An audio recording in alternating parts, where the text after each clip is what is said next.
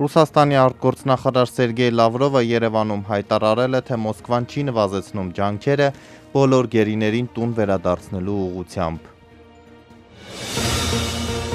Очевидно, я буду в них участвовать.